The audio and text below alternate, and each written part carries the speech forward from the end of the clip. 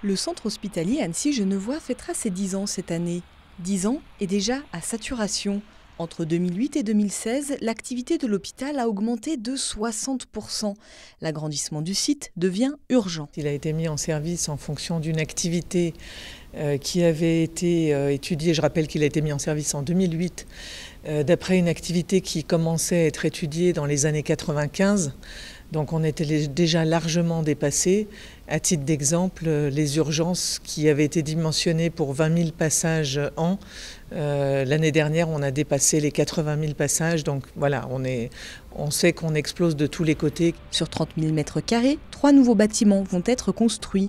Le premier, au sud, sera entièrement dédié à la chirurgie ambulatoire dont les capacités d'accueil seront multipliées par deux.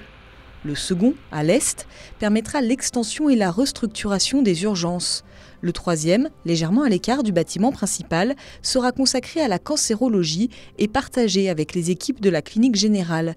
Coût total du chantier, 65 millions d'euros.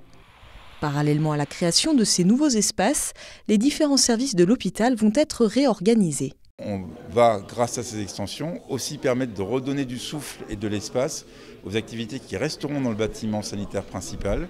Et ces activités seront réorganisées par euh, fonctionnalité, par physiologie du corps humain, c'est-à-dire que les activités complémentaires les unes des autres seront euh, voisines, comme par exemple l'urologie avec la néphrologie et la dialyse, comme l'endocrinologie avec la chirurgie digestive par exemple, pour que le circuit du patient dans le bâtiment principal soit facilité, plus lisible pour le patient, c'est-à-dire plus facile d'accès et plus facile à comprendre en termes de gradation de son parcours de prise en charge.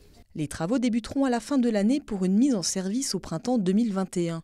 Les soins et l'accueil des patients se poursuivent durant toute la durée du chantier.